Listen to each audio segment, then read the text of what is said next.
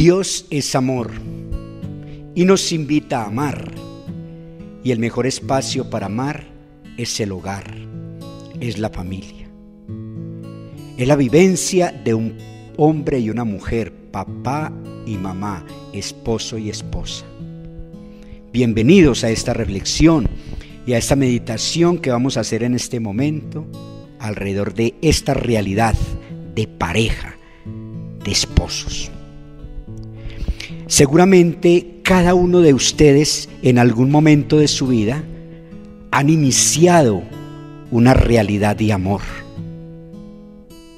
Y hay una gran pregunta que nos hacemos constantemente y es, ¿es posible vivir la felicidad para siempre?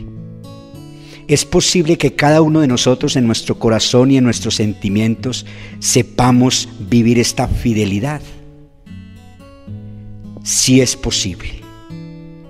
Por eso les doy la bienvenida para que desde su corazón y desde su mente reflexionen y vivan esta experiencia de amor. Es posible, si es posible vivir esta realidad como esposos, teniendo en cuenta tres grandes realidades. La primera, para vivir siempre en el amor, para vivir siempre como esposos, para vivir siempre como papá y mamá alrededor de sus hijos, necesitamos tres características muy importantes.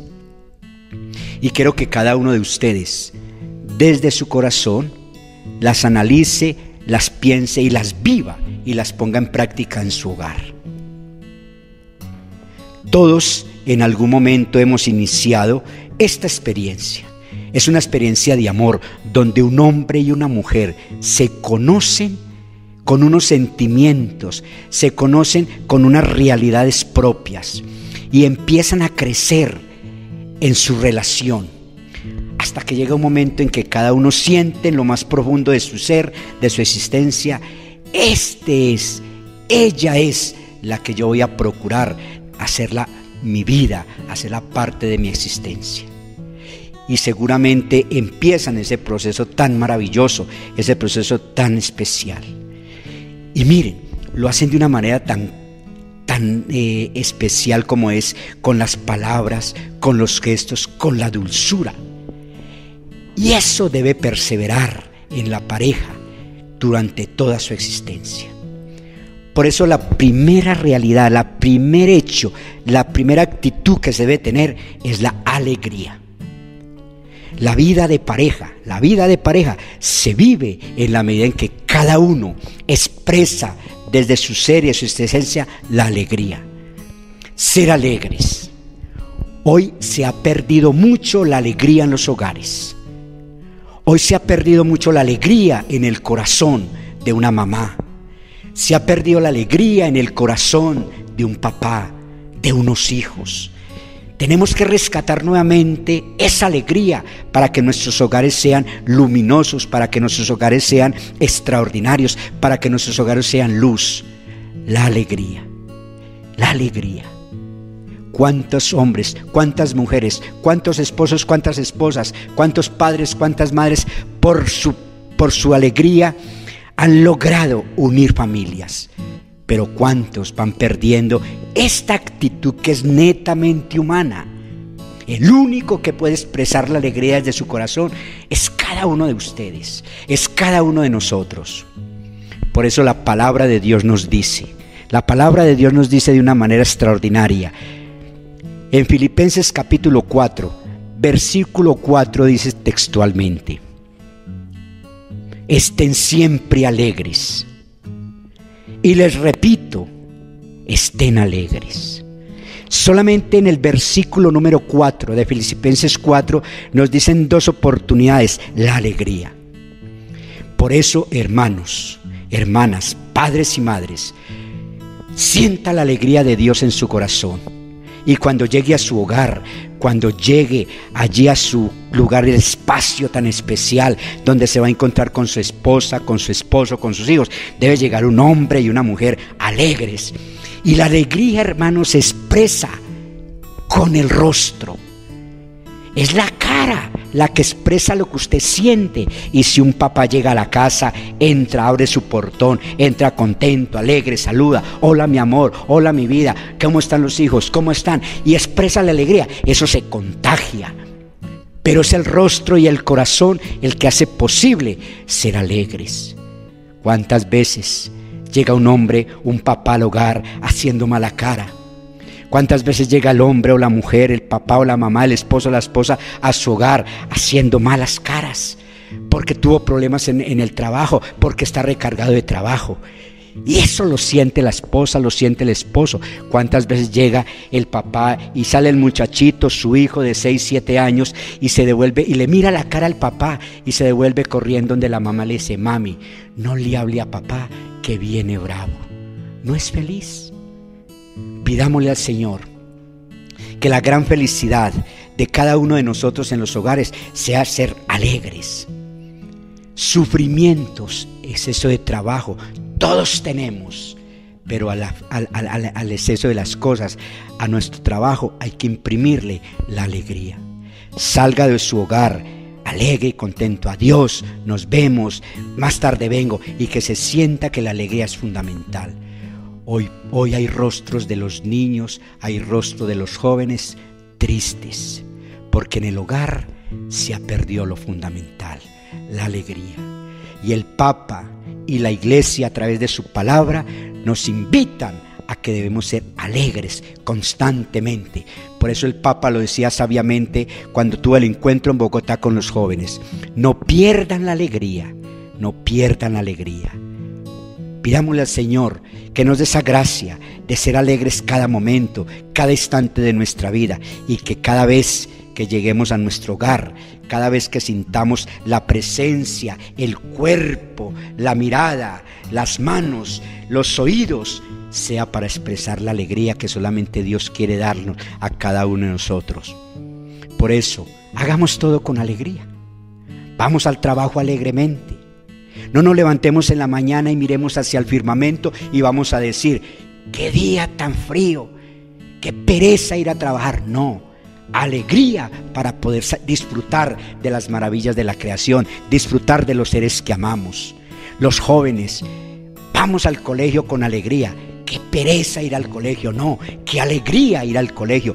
¿Cuántos no tienen esa posibilidad? La alegría es fundamental en el hogar. Y por eso en nuestros hogares hay veces que nos sentimos solos. ¿Cuántas veces papá y mamá solos no se hablan? Hijos que quieren acercarse y se hablen porque el rostro les dice que es un rechazo. No debemos de ser así. Por eso pidámosle al Señor que nos dé la gracia de ser alegres. Miren esta realidad. Felipe, el apóstol, le preguntó una vez, a Jesús, está en el Evangelio. Muéstranos al Padre. Y Jesús le respondió, tanto tiempo que hace que estoy con ustedes y no me conocen, Felipe. El que me ve a mí, ve al Padre. Miren, debemos mostrar al Padre, debemos mostrar a Dios en nuestros hogares. ¿Y cómo lo vamos a mostrar? Con la alegría. Dios es un Dios que quiere la alegría en nosotros. Por eso la, es fundamental mostrar el rostro alegre de Jesús en nuestros hogares. Porque cada uno de nosotros es como la prolongación de la mirada de Dios, es la prolongación de las manos de Dios, es la prolongación de los oídos de Dios. Y la mejor manera es la alegría. Miremos con amor miremos con alegría. ¿Cuántas miradas hay, hermanos y hermanas, esposos y esposas, que cuántas veces le habrá dicho a la esposa o al esposo, ¿y por qué me mira así? Esa mirada tiene algo de tristeza, esa mirada tiene algo de venganza, esa mirada tiene algo de otra cosa, menos de alegría. Pero cuántas veces que una mirada fortalece la unidad en la familia. Una buena mirada fortalece la alegría. Por eso miremos, miremos con amor. Y finalmente, hermanos, la soledad, la ausencia de Dios, la falta de afecto, el exceso de trabajo, van haciendo que perdamos la alegría en los hogares. ¿Cuántos esposos, cuántas esposas, a pesar de vivir en su hogar, sienten soledad en su corazón? ¿Cuántos esposos, cuántas esposas, estando en su hogar, necesitan el afecto del cónyuge de ella o de él o de sus hijos? ¿Cuántas veces en nuestros hogares las manos necesitan abrazar al esposo, a la esposa y a los hijos? Que la alegría sea el primer elemento que vamos a rescatar en nuestros hogares. Por eso la invitación y el compromiso en esta primera actitud, hermanos y hermanas, esposos y esposos, la primera actitud, vivan la alegría. Y propongas en esta semana de vivir alegres en su hogar. A pesar de las dificultades, la alegría es fundamental. Que la presencia de Dios a través del Espíritu fortalezca nuestras vidas la alegría y el amor de Dios. Después de haber escuchado la primera actitud que es la alegría, vamos a entrarnos en una segunda. Recuerden, actitudes para hacer posible vivir la felicidad en el, en el hogar, en la familia. La segunda actitud es muy importante y es la más extraordinaria de todas, el amor. El amor no es un sentimiento, el amor es un compromiso de fidelidad. El amor es un compromiso que debe llevarnos a todos y a cada uno de nosotros a reconocer la inmensidad del amor de Dios. Por eso el amor de una mujer y de un hombre para unirse en el matrimonio, para unirse como pareja, es fundamental. Son los sentimientos que cada uno lleva en su corazón para expresarlos de una manera extraordinaria a su compañero, a su amigo, a su amiga, al papá, a la mamá. Pero en la pareja el amor es fundamental para hacer posible la felicidad. Tanto amó Dios al mundo que entregó a su propio Hijo por amor a nosotros. El amor es un sacrificio, sacrificio por Él por ella, por los hijos. Es sacrificarme toda la vida, es desgastarme como esposo, como esposa, durante toda la vida por mi familia. Y es un desgaste lento, que, que no se alcanza a percibir, porque el amor es un desgaste por amor a los hijos y a la estabilidad de la familia. Es un amor constante, es un amor y es un desgaste mental, afectivo, físico, económico. El amor, el amor es fundamental en la vida de cada uno de nosotros, en la vida de cada uno de los seres de la humanidad. Tanto amó Dios al mundo que entregó a su propio Hijo por amor. Por eso vamos a meditar desde la santa palabra, desde la palabra de Dios, esta realidad de amor. Y hay un texto bíblico que cada uno que hemos leído muchas veces y que hemos conocido y que seguramente lo hemos escuchado en varias oportunidades. Y es el gran himno del amor que encontramos en la primera carta a los Corintios, en el capítulo 13, versículo 4 al 7. Voy a limitarme a mirar esta parte de este texto bíblico de, de la carta de San Pablo a los Corintios en el capítulo 13. ¿Y cuál es la realidad? Que cada uno de ustedes, cada uno de ustedes piense y medite desde su corazón si este amor en su hogar, si este amor en familia, como padre, como madre, como hijo, como hija, se va dando. Si están fallando en alguno de ellos, es la oportunidad para que empiecen un cambio de actitud. Dice, el amor es paciente Primera palabra, la paciencia.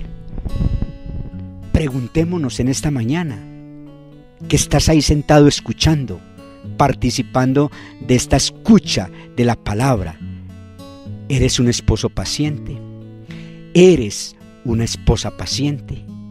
¿Cuántas veces nos salimos de casillas y nos volvemos impacientes? Y vienen las dificultades, vienen los problemas solamente coloquemos un caso. Mi amor, nos vemos a las 3 de la tarde en el Parque Caldas. Listo, mi amor, ahí nos vemos a las 3 de la tarde. Desde las dos y media, no, antes, ¿qué hace? ¿Qué hace? Pilas pues, 3 de la tarde. Y volvemos a insistir, no se le olvide. Y mandamos por el WhatsApp, no se le olvide, 3 de la tarde. Ella o él llega a las, antes de las 3, faltando un cuarto para las 3. Llegan las 3 de la tarde, no ha llegado. Y empezamos a cuestionarnos, ¿qué le pasaría? Porque no ha llegado. Tres y cuarto, ya miramos en las cuatro esquinas del parque por donde asó. A los 20 minutos, nada. Ya empieza la impaciencia. y empezamos a respirar profundo y de pronto aparece. ¿Cuál es la actitud? Como ya hay impaciencia, vienen los reclamos. ¿A qué hora nos quedamos de ver? Es la primera pregunta. ¿Por qué llegó tarde? No hay excusas. Y nos volvemos impacientes. Y de pronto muchas veces por esa actitud de impaciencia, no por el amor, porque el amor es paciente. Esperamos, hay que esperar. Y vienen problemas, dificultades, y muchas veces lo que quieren hacer ahí en el Parque Caldas o lo que van a hacer, ya van eh, cada uno ardido por dentro, con, porque no hay paciencia. Dios nos invita a ser pacientes. Muchos hogares, muchos hombres, muchas mujeres han quebrado o han destruido su hogar porque son impacientes, porque son agresivos, porque reaccionan de una manera, de una manera altanera. No es así. Ojo, el amor es paciente. Y Ave María sí hay que tener paciencia. Yo que soy educador, uno se da cuenta en el colegio donde trabaja, cuando llegan a una asesoría eh, y del muchacho y le dice a uno una mamá, un papá, profe, es que me saca de quicio, es que me saca la paciencia. ¿Cuántos años tiene su hijo? Ocho. ¿Qué está pasando? Falta más amor. Si más amamos al estilo de Dios, si más amamos, más pacientes somos, porque el amor es paciente. Ahí les queda esa primera, esa primera actitud que debemos de tener en nuestra vida, la paciencia. Dice el texto, continúa el texto diciendo lo siguiente. El amor, el amor no es grosero. Lean la palabra. Oiga, el amor no es grosero. ¿Cómo se tratan tantas parejas hoy en día? de una manera grosera.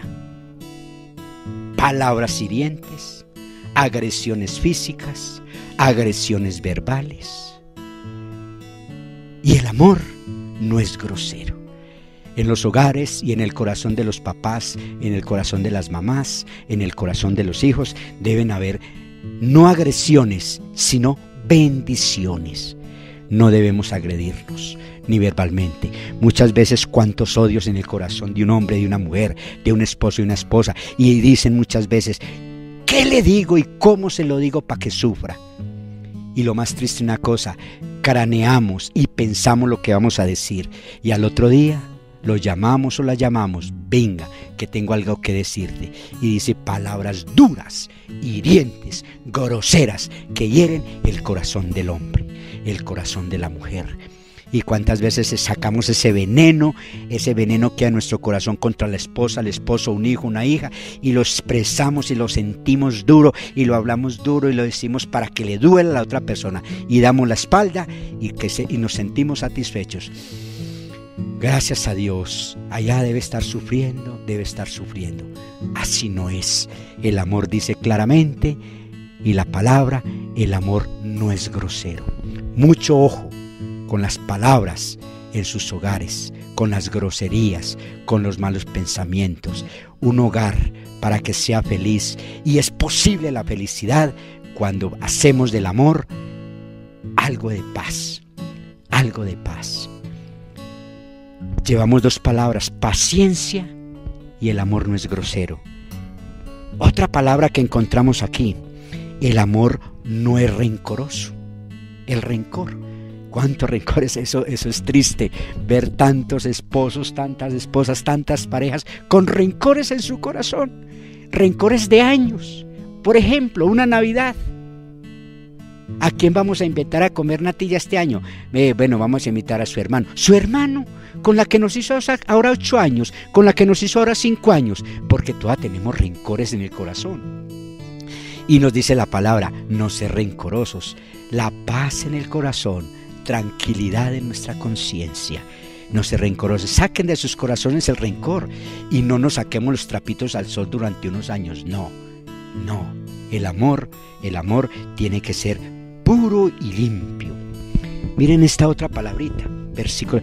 El amor todo lo disculpa.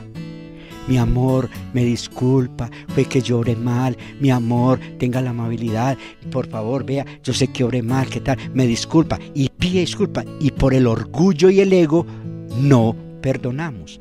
Hay que perdonar. O muchas veces de tanto insistir, ah, tanta joda suya, listo, listo, te perdono. Pero por dentro está pensando, alguna vez me desquito. Y el amor no es así. El amor lo disculpa todo, a pesar de las dificultades. El amor todo lo cree. Mi amor, ¿dónde está? En tal parte. No te creo. Ahorita hablamos y hay dudas. El amor no es así. El amor, mi amor, ¿dónde está? En tal parte. Listo, mi amor, te demoras. Es más fácil. Es más fácil y nos evitamos dificultades y es posible vivir la felicidad muchos años si hacemos lo que nos dice la palabra. El amor todo lo cree. Créale, mi amor, ya te pagaron la quincena. No, créale, créale que no le han pagado. Pero si empieza, si se la pagaron, no se la vea, no, si se la pagaron. Hay que creer. ¿Dónde está? En tal parte. Ahora aparece ahí la fidelidad. El amor todo lo espera. Dice la palabra, el amor todo lo espera. ¿Cuándo vas a cambiar ese mal genio, mi amor? ¿Y a usted qué le importa? Así me, así me conoció, tiene que aguantarme. Espere y ore. Ore porque esa conversión del esposo, de la esposa de un hijo se pueden dar. Y por último, el amor todo lo soporta. Todo lo soporta. De una manera así jocosa. Los ronquidos. Ay, cómo ronca de feo mi amor. Ay, mi amor, si yo sabía que usted era así tan... Yo no. Es que así es. Y usted se casó con alguien o vive con alguien que es así. Hay que soportarlo. No, me voy a ir a dormir a la sala porque usted eh, ronca muy feo. No, el amor todo lo soporta. El amor todo lo soporta. Por eso terminemos este segundo momento del amor pensando en Jesús. Miren, Dios por amor entregó su cuerpo. Lo vivimos en la Semana Santa. Dios muere en la cruz, muere su cuerpo por amor. Pero la última palabra que Jesús expresa cuando está en la tierra es la séptima palabra. En tus manos encomiendo mi espíritu fue la última palabra. O sea que Dios por amor entregó su cuerpo y entregó su espíritu. Por eso un hombre y una mujer que se aman, hay que entregar el cuerpo y el espíritu. Y en los momentos de intimidad, es eso. Entregue su cuerpo, pero el espíritu también. Pensamientos adecuados. El, acto íntimo de un hombre y una mujer que se aman es para disfrutarlo, porque es la presencia amorosa de Dios. Por eso entregue su cuerpo, entregue su espíritu en el hogar y vivan esta experiencia del amor. Y les voy a dejar un compromiso. Y lo van a pensar. Y lo van a hacer. Miren, hagan este ejercicio.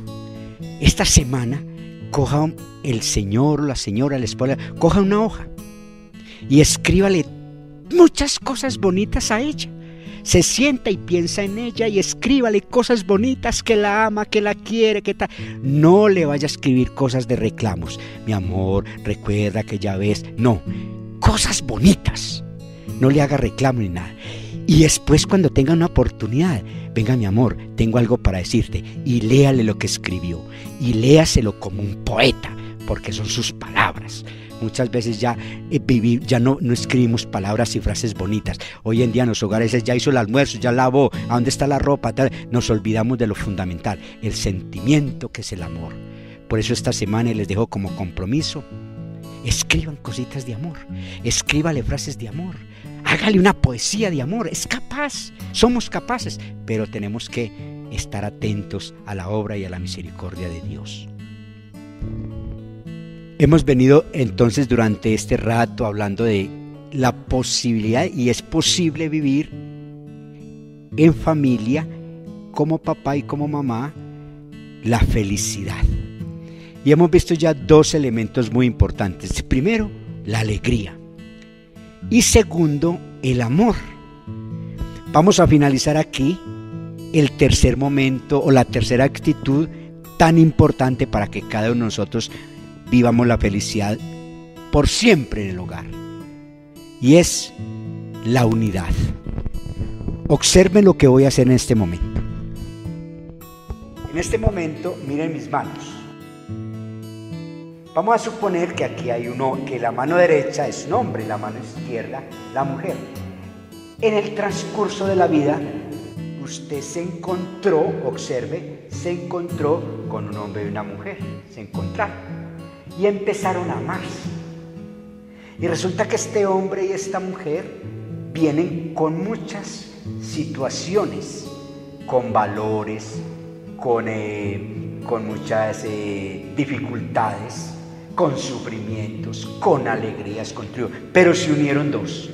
Son como los dedos de la mano. Son dos personas diferentes. Cada uno es diferente. Pero si yo hago esto, miren que se unen todas las dificultades, todos los éxitos. Esta es la unidad que necesitan en los hogares. Esta es la necesidad entre un hombre y una mujer.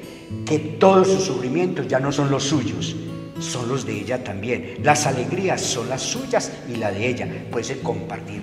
La unidad desde la experiencia de Dios es colocar todo en el corazón del otro, en el corazón de ella, en el corazón de él, en el corazón de los hijos. La unidad desde la experiencia de pareja es constantemente fortalecer todo lo que lleva en su corazón.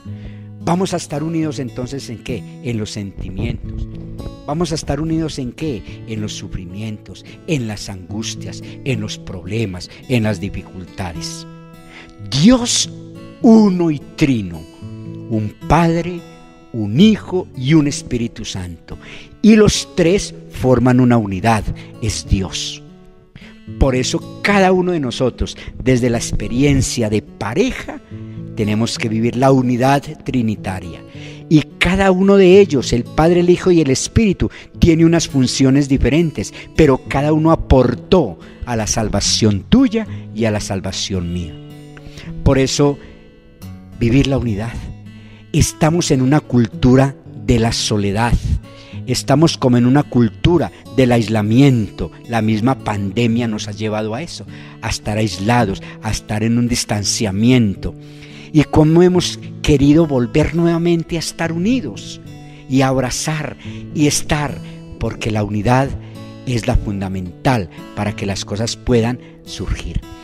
Por eso vamos a utilizar y vamos a meditar dos textos bíblicos. El primer texto es el de el Evangelio de San Juan en el capítulo 17, versículo 21. Escuchen, te pido que todos sean uno, lo mismo que lo somos tú y yo, Padre, y que también ellos vivan unidos a nosotros para que el mundo crea que tú me has enviado. La primera parte del versículo dice que todos sean uno como tú y yo somos unos, la unidad trinitaria. Y en la segunda parte dice, para que ellos vivan unidos. O sea que es posible vivir la felicidad cuando estamos unidos a Dios, cuando estamos unidos a Él. Y si yo estoy unido a Él, mi familia, y, y la podemos expresar en la unidad de la familia, la unidad familiar. Hoy, en la realidad de muchos hogares, se ha perdido la unidad. Nos hemos vuelto individualistas, cada uno por su lado. Ya no compartimos las experiencias de trabajo. Ya nuestros hogares, mm, recuerdo, recuerdo, alguien nos decía, por ejemplo, en el hogar o en la casa o en el apartamento, se han perdido dos espacios muy importantes, que es el comedor. Ya no comemos en familia, Ya cada uno llega a distinto tiempo, cada uno come aparte, ya el muchacho come en el cuarto, ya el muchacho come, hemos perdido la unidad. El comedor, y hay muchas familias que todavía tienen esa experiencia, el almuerzo, la, cena, el en, el, en el comedor. Eso es lo bonito, la unidad. Y otro espacio que hemos perdido ya mucho en nuestros hogares donde se ha perdido la unidad es la sala. Ya la sala solamente limpiamos, porque ya no nos sentamos en la sala a jugar el parqués, a jugar la unidad. Por eso hay que pedirle mucho al Señor que vivamos esta experiencia de la unidad desde la experiencia de Dios, que sean uno, como tú y yo somos uno, o sea, unidos a Dios, unidos a la Trinidad para poder experimentar la unidad de un hombre y de una mujer, del papá y de la mamá, del esposo y la esposa y la unidad con la familia cuántas familias destruidas, cuántos hogares destruidos, cuántas personas destruidas en sí mismos, porque hay fractura dentro de ellos mismos, porque no hay unidad de criterios en ellos mismos. Y el segundo texto es de, de, los Hechos de los Apóstoles, que también hemos escuchado muchas veces. El capítulo 2, versículo 42. Los que habían sido bautizados se dedicaban con perseverancia a escuchar a los apóstoles y vivían unidos. Es la unidad en las primeras comunidades cristianas. Por eso la invitación es, hombres y mujeres, padres y madres, esposos y esposas, hijos, familia, la vivencia de la unidad. Vamos a rescatar nuevamente nuestra unidad con los gestos, con las palabras, con las acciones. Es muy bonito ver tantos hogares que viven esta unidad y uno lo vive unos fines de semana, cuando uno encuentra por algunos lugares de manizales, en algunos balnearios, en algunos lugares de descanso, familias completas, viviendo esta experiencia de la unidad, compartiendo, compartiendo el descanso, compartiendo tantas cosas maravillosas. La unidad, la unidad es fruto del éxito. La unidad debe dar como fruto el amor. La unidad debe dar como fruto la alegría en cada uno de nosotros. Por eso que la Santísima Virgen María, ella que vivió esta experiencia de unidad constantemente con su Hijo en la iglesia, sigue unida a la iglesia, nos ayuda a comprender y a dimensionar la capacidad que tenemos cada uno de nosotros para vivir la experiencia del amor desde la unidad de Dios. Y les dejo como compromiso. Busquen esta semana y semanalmente un espacio para estar unidos en familia. Una, la oración otra, una salidita a comer obleas a Chipre. Otra, una salidita por allá a, un, un centro comercial, pero en familia. Esta semana hagan ese esfuerzo. Saquen una semana, un día para vivir la unidad familiar.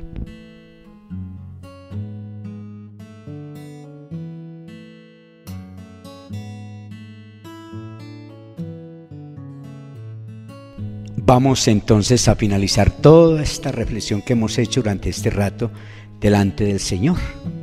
Aquí en el sagrado donde está presente Jesús en su cuerpo.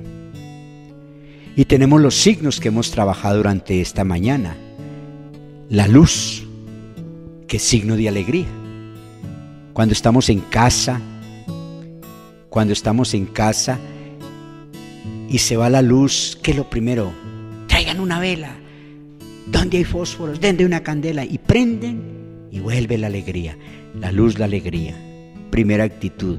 Segunda, tanto amó Dios al mundo que entregó a su Hijo único. Segunda actitud, el amor. Entregar su cuerpo y entregar el espíritu, el amor en familia. Y tercera actitud, la unidad del Padre, la unidad del Hijo y la unidad del Espíritu Santo. Por eso concluyamos nuestro trabajo o concluyamos nuestra meditación esta mañana aquí, en una actitud de mucho recogimiento, de mucha oración y especialmente de mucho encuentro íntimo con el Señor. ¿Y por qué? Escucha, primero, la alegría es la parte humana, es la parte personal, es lo que yo como hombre o como mujer llevo para compartir en el hogar. Es la alegría, es el aporte humano, es el aporte personal para que la felicidad perdure siempre. el amor, son los sentimientos, es el espíritu, o sea, es el aporte espiritual. Lo humano y lo espiritual. Lo que yo expreso con mi vida, lo que expreso con mi rostro y lo que siento en el corazón. Es la unidad completa, el cuerpo y el espíritu. Es la alegría, la parte humana, es la vida espiritual, Dios en mi corazón. Y esa unidad nos la expresa Jesús a través del texto que leímos, vivan unidos como tú y yo, vivamos, vivan unidos como tú y yo, Señor. Por eso, conclusión, unamos la alegría con el amor en el corazón de Dios. Y ahí está, lo humano y lo espiritual, para que Dios acoja en su inmenso amor toda nuestra realidad humana. Por eso finalicemos haciendo una oración. Nada sin la oración. Y seguramente lo que los que han participado y han escuchado esta reflexión, siempre tengan en cuenta, Dios es lo primero. Tengamos a Dios en el corazón y lo demás va viniendo. Nada de tanta intelectualidad, tanta cosa que estamos viviendo, tanto desbogue, para mirar y para realizar nuestra vida intelectual, nuestra vida racional, pero el Espíritu, Dios en nuestro corazón es fundamental. ¿Qué faltará en muchos hogares? Una oración. Por eso los invito a que finalicemos delante del Señor con una oración de acción de gracias. Pongámonos en una actitud de oración ahí, cada uno en su corazón, para darle gracias a Dios. Señor Jesús, te damos gracias Gracias Señor por tanta bondad. Gracias Señor por los sentimientos tan buenos y tan bonitos que hay en los hombres y las mujeres. Bendice Señor a estas personas que han participado y han escuchado esta reflexión. Bendícelas Señor para que siempre en sus hogares y en sus lugares de trabajo sientan el amor tuyo. Gracias Señor por la bendición de los hijos Haz que ellos escuran en nuestros hogares la alegría de un papá, la alegría de una mamá, el amor de unos papás que se aman y sobre todo que descubran la inmensidad del amor de Dios en ellos. Gracias Señor por las familias que has constituido por el sacramento del matrimonio.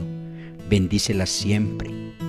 Haz de ellas familias buenas, familias santas gracias Señor por los novios y las novias que han decidido vivir esta gracia del sacramento del matrimonio, para que ellos también desde su alegría, desde su amor y con tu presencia, busquen siempre ser felices. Y oremos por tantas parejas que necesitan de la gracia de Dios, por aquellas que rechazan el sacramento del matrimonio, por aquellas que no han decidido dar este paso tan maravilloso de descubrir la inmensidad del amor de Dios. Pidámosle al Señor perdón. Aquí Él es la paz en nuestros corazones. Pidámosle al Señor que perdone nuestras actitudes que están, están haciendo que en nuestros hogares no se viva la unidad.